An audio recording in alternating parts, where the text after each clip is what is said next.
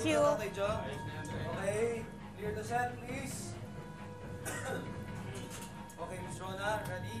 Okay. Rolling tayo. And five, four, three, two, action. Limang taon ng kababalaghan. Limang taon ng talinhaga. Limang taon ng mga nakapagtatakang pangyayari sa ating paligid, sa ating daigdig, sa ating buhay. Hindi lamang isa o dalawa, kundi napakaraming espiritu na ang atin ang nakilala at nakaniig. May mga kaluluwang mabait at sa ating nakatulong. Mayroon din namang mga kampon ng kadiliman. Hindi na rin mabilang ang mga halimaw na ating naingkwento. Mga maligno kung saan-saan nagmumula. Sa ilalim ng lupa, sa tubig, sa hangin, sa apoy. Mga nilalang na akala natin bunga lamang ng malikot na. Subalit sila pala'y totoo. Humihinga at naghahasik ng lagim. Ito ang limang taon ng Mystery Files. And we are very thankful to all of you for joining us in these five years of horror, adventure, and suspense. Maraming salamat po. And as part of our celebration, we shall now announce the names of the three lucky finalists in our Mystery Files Challenge. From thousands of entries, sila po ang napili para sa real-life ghost hunting and spirit bonding sa isang lugar na pinamamahayan ng mga kaluluwa. Here are the finalists. Ang una ay isang self-confessed computer addict at isa siyang aspiring spirit questor. Obsessed daw siya sa mga kaluluwa kaya siguradong mag enjoy siya sa gagawin natin.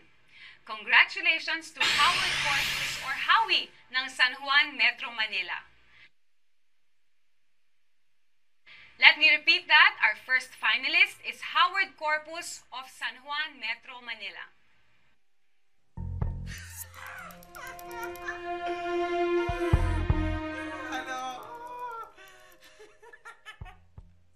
And our second finalist, babae naman siya.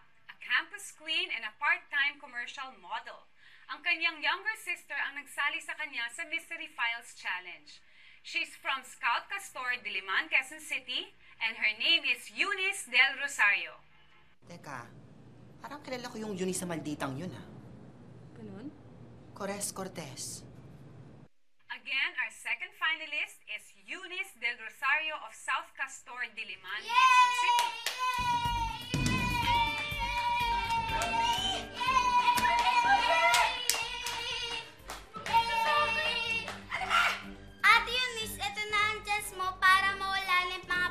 pagkatuwag mo sa mga multo, no? Maski na, no? How dare you enter my name sa contest? Hindi ko... Talaga sa akin, eh. Alam mo yun? And our last finalist, a gym buff and an all-around athlete. At ayon sa kanya, galit siya sa mga multo. Malalaman natin sa kanya kung bakit. Siya ay walang iba kundi si Joe Blue Romero ng Makati City.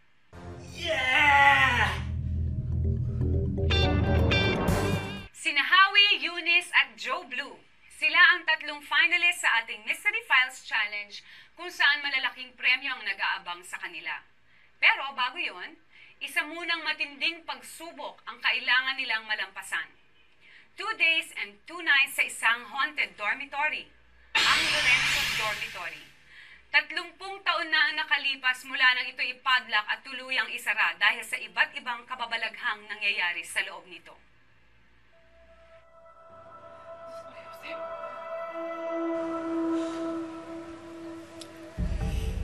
Hirap naman, Rona. Palagi nilang karir mo ang priority. Paano naman ako? Masakit man tanggapin pero hindi na ako bata. Ayoko tumanda ng malungkot. Jack, konting panahon na lang. Bakit? Sino ba ang gustong tumanda ng malungkot? Ako ayoko din. Ang gusto ko, tumanda ng kapiling ka at ang mga magiging anak natin.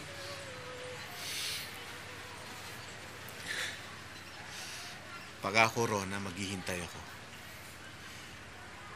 Basta't ipangako mo rin sa akin na tayong dalawa pa rin hanggang ending. Okay? Promise yan, Jack. Mahal na mahal kita, Rona.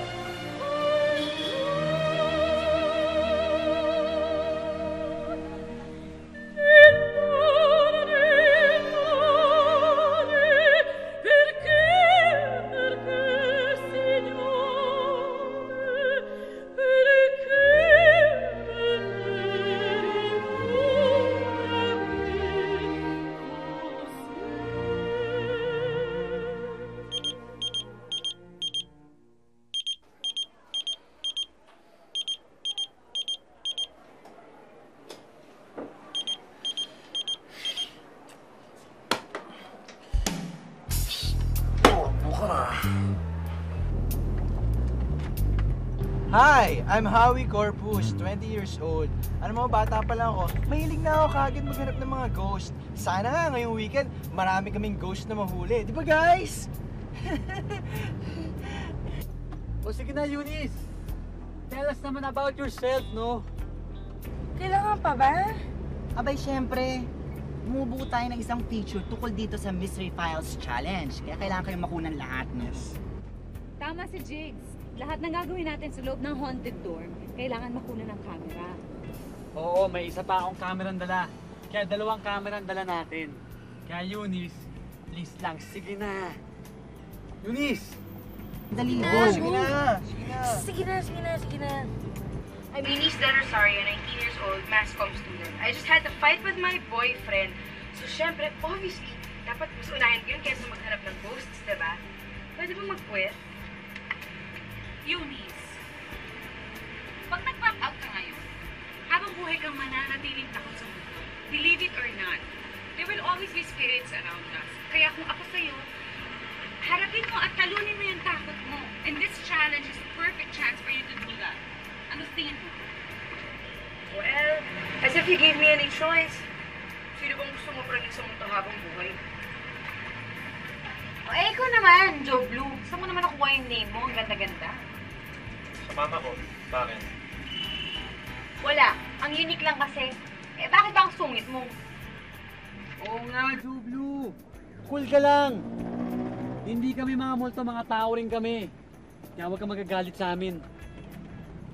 Oo nga. At saka in the first place, ha? Ba't mo ba hita-hita mga multo? Ha? Ano ba? Ano ba, bad trip ka magtanong? Alam mo ba yon ha?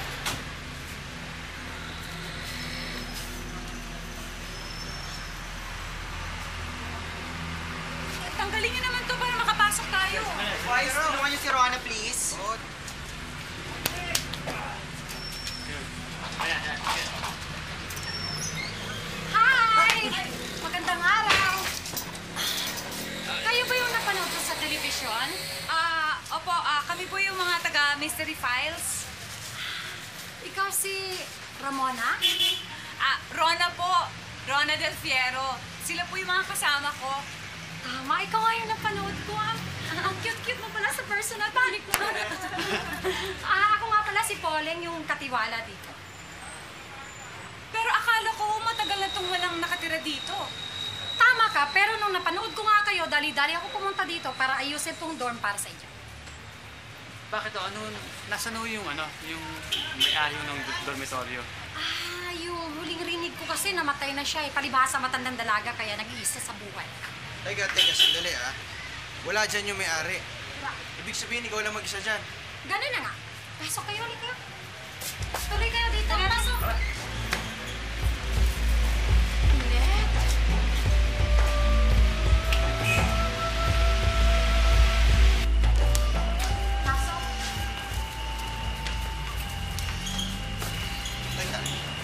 Tanong ako ha.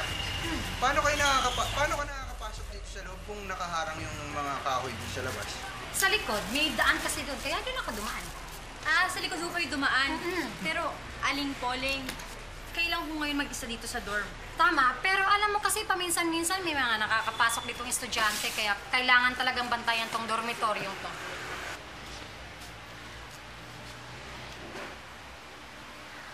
Kung ganun ho, sino ho siya?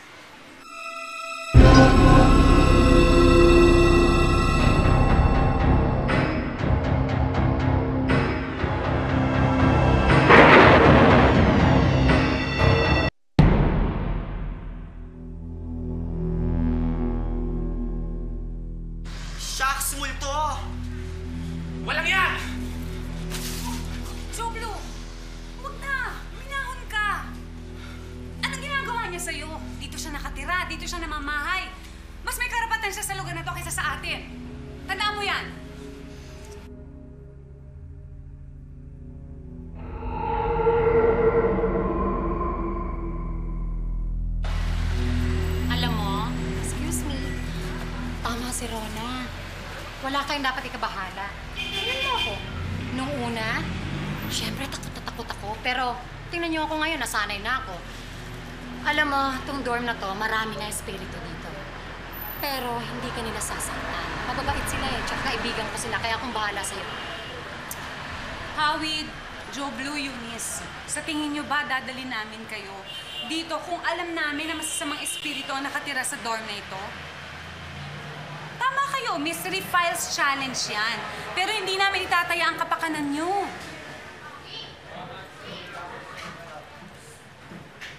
Pasensya na kayo. Kahit anong gawin ko, hindi ko mapigilan ang galit ko sa tuwing makakakita ako ng multo. Bad trip eh. Sorry. Hindi, nagugutom na ako eh. Dito pare, okay na tayo dito. Eto, sa lamesa. Sige, kumain ka Liit dyan. naman ito eh. Awi, okay na yan. Te- Pero teka, maghuhugas muna ako. Huwag na, kumain na Wala ako. tayo. Mon,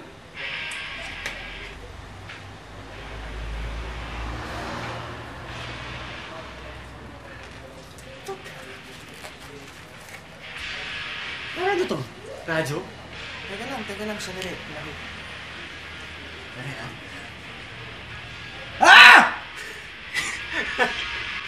Ari! Radyo ba? Radyo nga! Radyo nga! Oo, oh, Astig ba? Oo, sandali, sandali. Galing grape ang radyo. Ngayon lang nakakita. Lalakasan ko, ha? Sige, sige.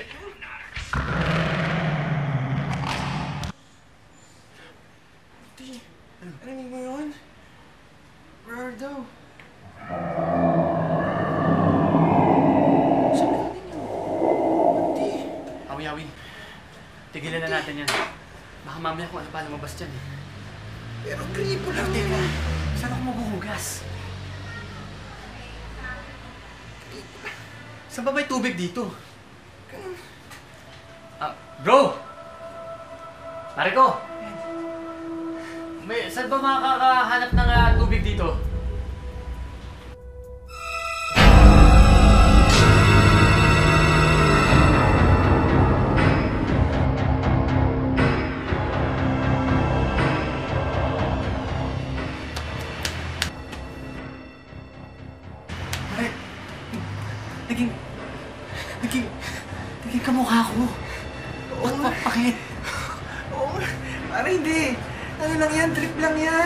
Hindi, pare, hindi trip yung pare. Kamukha Action ko lang yan eh. Bahala ka na, mauna na ako dito, pare. Trip lang yan.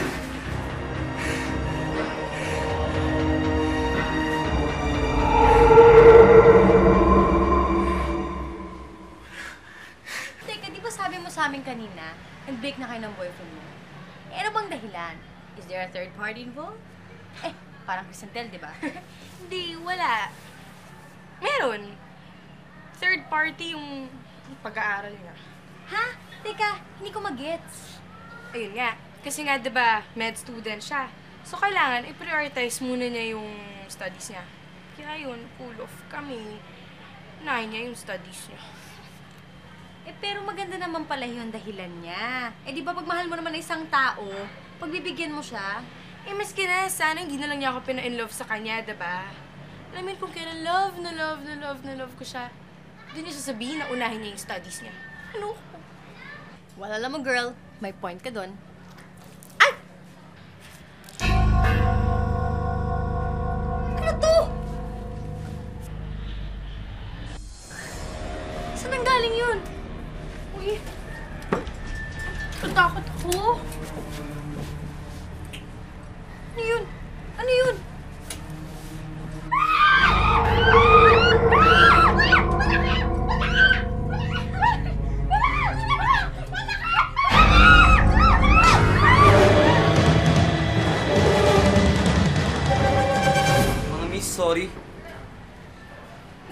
Ang mga love frog ko, pasensya na kayo. Eh, teka muna. Sino ka naman? I'm Alvin. Alvin Silva. Dito rin ako nagdo-dorm. Hayaan nyo next time di na makakawala mga palaka ko. Ah, med student ka? Oo. Third year, pre-med. Eh, teka muna, Mr. Primed. Eh, pakitanggal muna yung mga palaka dahil hindi kami makababae. Huwag na kayo mag-alala. Nandito na silang lahat. Ha? Eh, teka muna. Eh, sigurado ka ba? Eh, kasi... Eh, paano mo naman nagawa yun? Teka muna. Ano? Paano mo nagawa yun eh? Hindi ka naman umalis sa sakit na tatayuan mo. Nawala rin siya. Sayang. Ang gwapo niya sobra, no? Luka, Luka. Hindi mo ba alam na yun yung multo? Ang gwapo siya eh. Para saan to, Jack? Para sa anniversary natin. Ano? Ang ibig kong sabihin eh, para sa 5th anniversary ng show mo, Mystery Files, di ba? Alam ko naman kasing wala nang mahalaga sa'yo kundi yung palabas mo eh. Yung karir mo. Ka nga masyadong magpakyut dyan. Tignan mo yung edad mo, ha? Hindi na bagay sa'yo yung kinikilos mo. Tingnan mo nga kung sino tong nagpapakyut. Pansinin mo yung sarili mo. Oh. Eh, mas cute ka pa sa mga babaeng nakatira dito sa dorm na to eh. Uy, Jack, ah. Tatrabaho ako. Huwag mo akong gaganyanin. Bibiro lang. Ito naman, hindi na nasanay. Alam ko naman mabigat at saka seryoso tong trabaho mo eh. Kaya nga kita binibisita dito eh, para gumaan-gaan. Ganon? Ganon yun? Oo naman.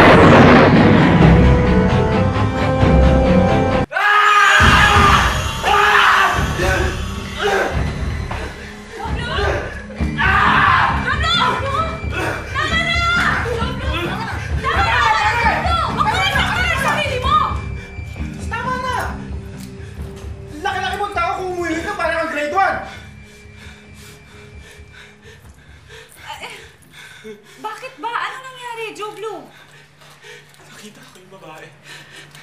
Nakita ko yung babaeng multo.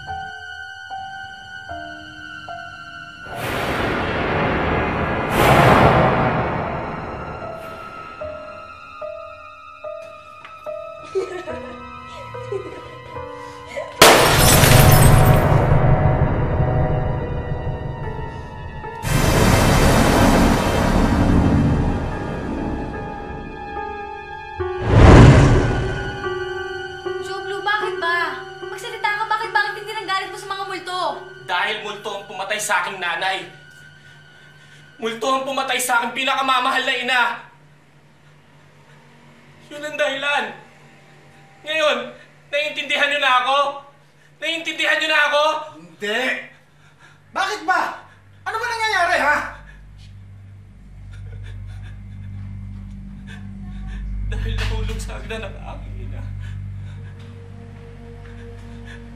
Mula noon, unti-unti na siya nang hina. Hanggang sa dahan-dahan namatay.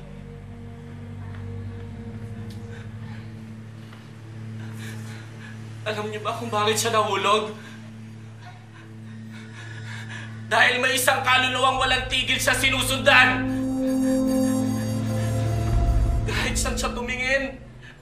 Nandun yung multong yun.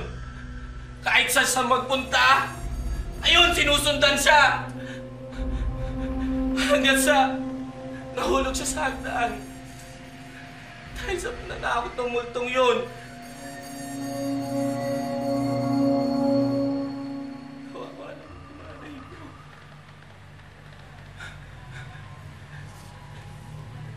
Dapat ipaghiganti ko siya eh. Kaya galit ako sa mga multo!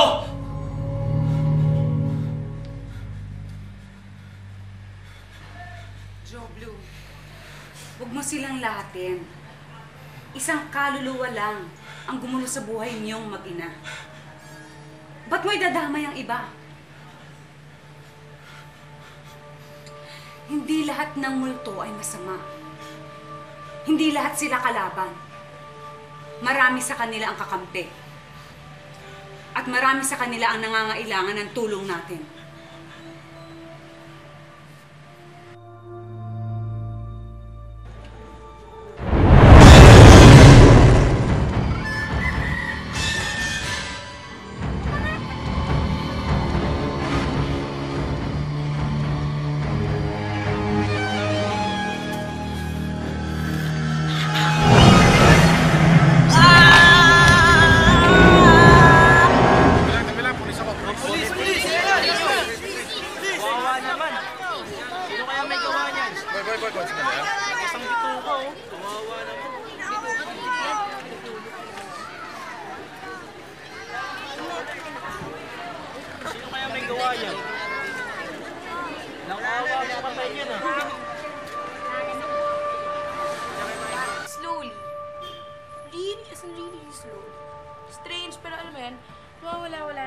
Sa mga ghosts.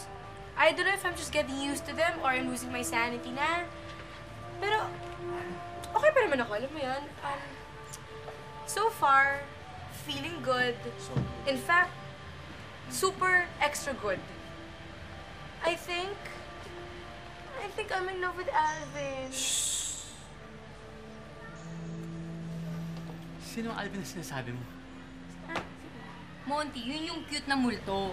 Multo? Oy, bis kring-kring. Tanggal-tanggalin mo na yung mga agyo sa utak mo. Alam mo, mabuti pa, iligo na lang natin. Tumawawala Op, ito op. eh. Teka lang, wala sa usapan natin yan eh. Di ba kailangan tapusin muna natin tong adventure challenge na to. Bago tayo maligo, wala nang ligo-ligo pa. Di ba? Oo nga. Naiintindihan mo ako? Oo nga, eh. Tingnan mo naman kasi suot ko, ang init-init. Tsaka alam mo, isa pa Eunice, patay na yung crush mo. Oo nga. Hmm, cute pa rin siya. Dids na yun eh. Eunice! Ako ba ang pinag-uusapan ninyo?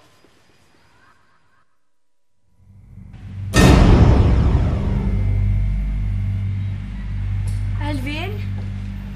Si Alvin? Alvin, buti naman nagpakita ka uli. Kapo niya. Gusto kong sabihin sa inyo. Kung maaari sana umalis na kayo rito sa lalong madaling panahon. upang maligtas sa mga buhay niyo. Umalis na kayo dito! Huwag na ninyong hintayin na maranasan ninyo ang mga sinapit namin. Umalis na kayo dito!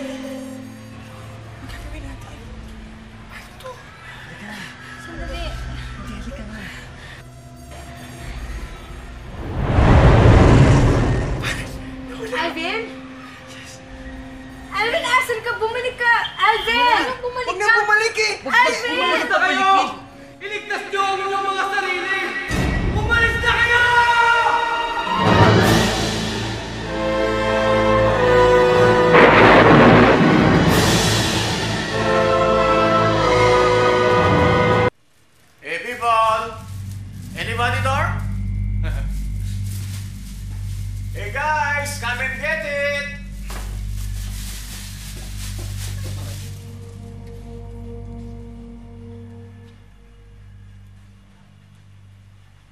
Ah, Brad, excuse me. Pwede ba magtanong?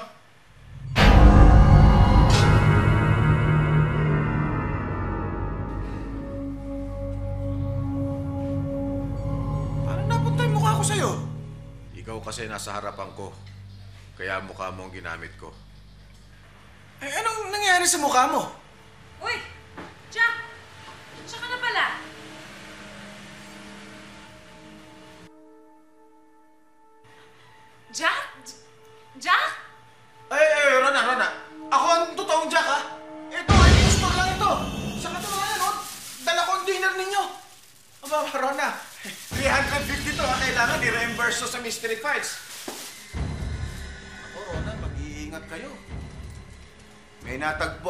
Bangkay malapit dito.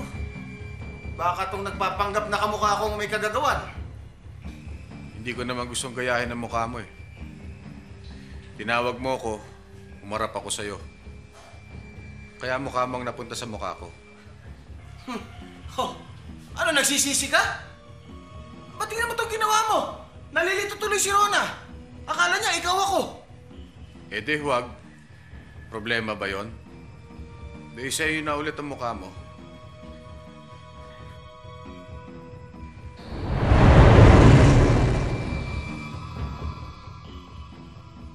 Pag nalaman niyo kung ano dahilan, kung paano nawala ang mukha ko, maintindihan niyo rin ako. Sandali lang!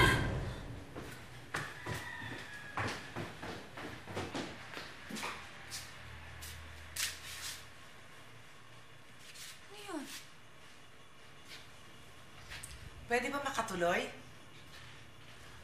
Miss Agapita Lorenzo, ang may-ari ng dormitoryong ito. Maganda pa rin ang dormitoryong ito na pinamana sa akin ni Papa at ni Mama. Hindi pa rin siya nabubulok. Hindi pa rin inaanay. Kaya lang, mas masahol pa sa anay ang nabubuhay sa loob nito. Masahol pa sa anay. Mrs. Lorenzo, ako po si Rona Del Fiero. Kami po yung taga... Nasa Mystery Files. Alam ko, nakita ko kayo sa TV. At nakita ko rin na pupunta kayo dito sa Lorenzo Dormitory, kaya nga napasugod ako dito. Bakit ho? Dahil nanganganib ang mga buhay nyo. Bakit po, Mrs. Lorenzo? Anong nalalaman niyo sa mga misteryo nangyayari dito sa dorm na ito? Kawawa naman yung mga bata. Wala silang kasalanan. Napakasipag na estudyante. Top-notchers sa klase ang batang yun. Sino mag-aakala makakita sa kanyang buhay na gano'n na lang?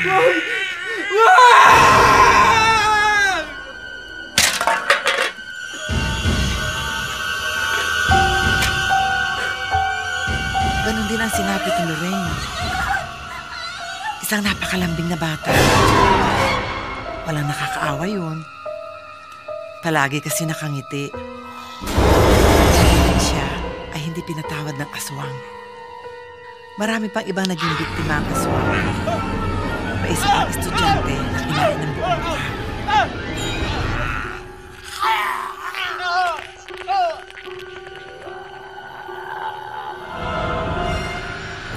Marami pang estudyante na biktima ang aswang na yun. Sino ba yung aswang na ito? At bakit siya nandito sa dorm na ito?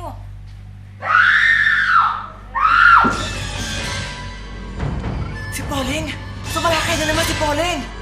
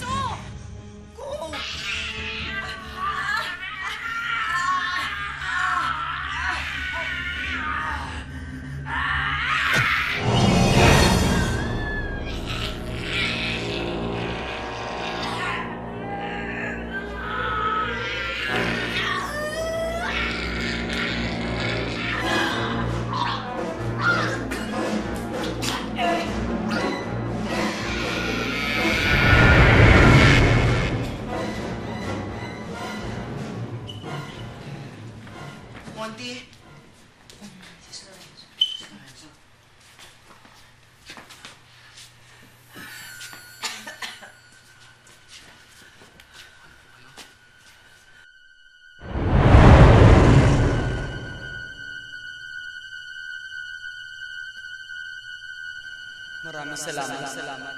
Sa wakas, sa wakas, matatahimik na kami.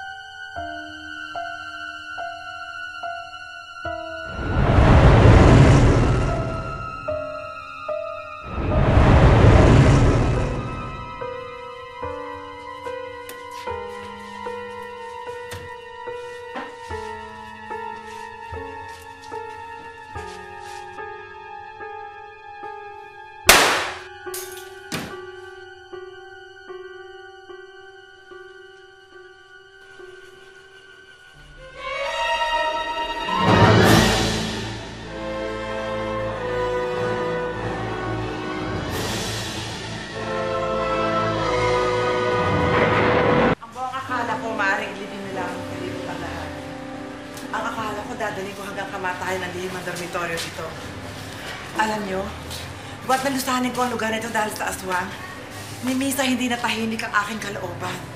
Ngayon lamang. Kuya, si Aling Pauling na yan, ha? Best actress. Nung una, patwitams yung palait ng utaw. Pero ngayon, tigok na siya. Kaya, pwede na siguro natin sabihin doon sa tatlong finalists. Este, tatlong winners na nga pala. Kung ano yung mapapalanunan nila. Joe Blue!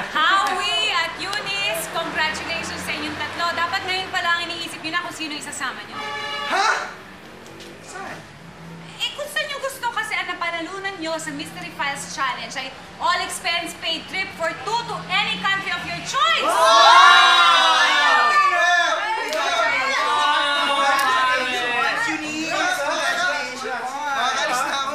Sama tayo. Sa gusto, sa mo gusto.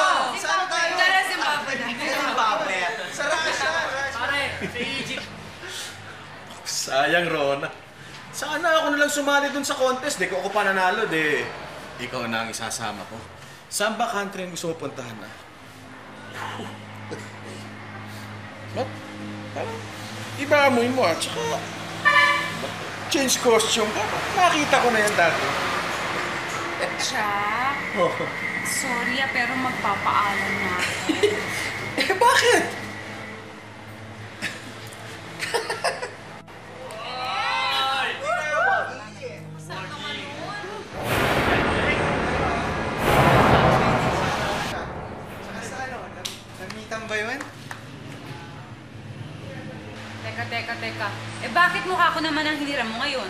Sorry, nagpapaalam lang ako. Pero alam nyo, dahil sa ginawa niyong pagligtas sa aming mga kaluluwa, Nagbalik na ang mukha ko. Thank you, ah. Thank you, ah.